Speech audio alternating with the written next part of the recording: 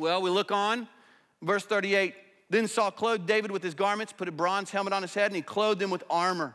And David girded his sword over his armor, tried to walk, for he had not tested them. So David said to Saul, I can't go with these, for I've not tested them. And David took them off.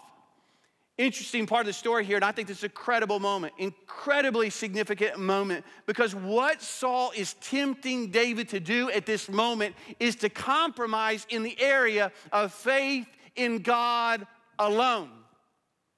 He's saying, David, that's great, you trust God, that's really cool. But you probably ought to put some armor on too.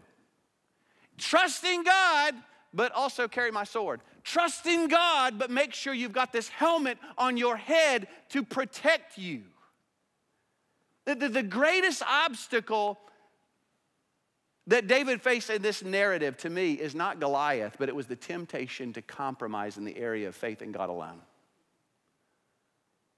Because if David takes the armor, you say, well, what, what matter? What, how, what would it matter? I mean, if he wins, he wins. It's still David and Goliath. Listen, if, David wears the armor and he defeats Goliath, then who can it take at least some of the credit? Saul.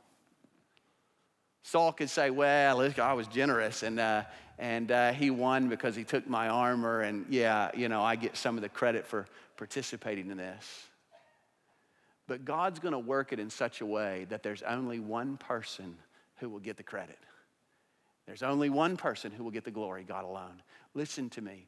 In our salvation, God has worked it in such a way that there's only one person who gets the credit, and that's God alone, by grace alone, in faith in Christ alone. Isn't that awesome? Uh, none of us are going to get to heaven someday and say, Boy, look at what I did.